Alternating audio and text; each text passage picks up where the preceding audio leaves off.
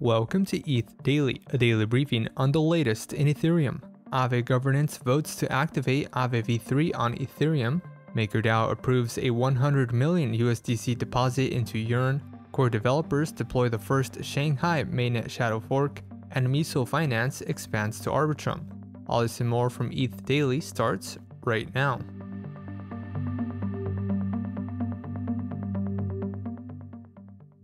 A proposal to activate the Aave v 3.0.1 deployment on Ethereum mainnet is now live. The proposal marks the final steps in a highly anticipated v3 upgrade, which brings higher composability to the protocol. Pre-approved assets on the new deployment include Wrapped Bitcoin, Wrapped Ether, WST ETH, USDC, DAI, Link, and Aave.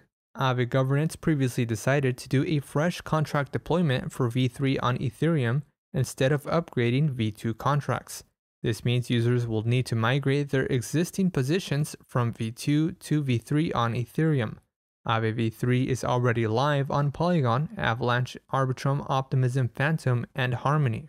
Maker Governance approved a proposal to deposit up to 100 million USDC from its USDC Peg Stability module into a vault on Yearn Finance. The proposal is still subject to a subsequent executive vote, before assets from MakerDAO's reserves can be moved. MakerDAO aims to generate about 2% APY through a custom DeFi strategy. Maker's strategies involve USDC positions on Aave, Compound, Angle Protocol, Stargate Finance, and Idle Finance. Only members approved by MakerDAO will have access to the custom vault. The capital from MakerDAO also boosts revenue for Yearn, which takes a 20% performance fee on each harvest. Yearn currently holds just under a half billion dollars in total value locked. Ethereum developer Marius van der Wijden shared that the first mainnet shadow fork for Beacon Chain withdrawals was successfully deployed.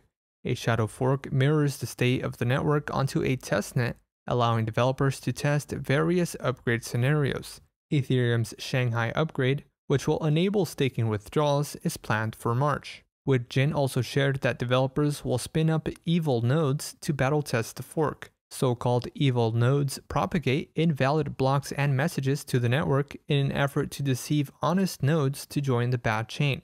Developers plan to deploy a public Shanghai testnet in the coming weeks. An initial pre-Shanghai testnet was deprecated in December. Taiko, an EVM equivalent ZK rollup, published its Q4 2022 recap covering the network's research and development efforts.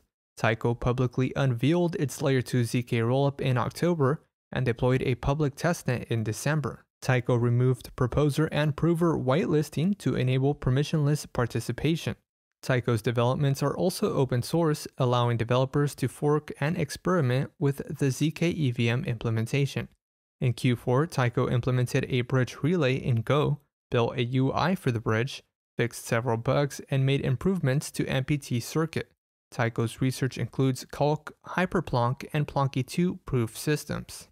And lastly, Structured Yield Protocol MYSO Finance announced plans to deploy on Arbitrum 1. A deployment on the Arbitrum Goerli testnet is now live with a wrapped Ether and USDC pool. MYSO launched on Ethereum earlier this month with an initial RETH and wrapped Ether pool, which offers leveraged and fixed interest positions. According to MYSO, loans on the platform are free from liquidation risks.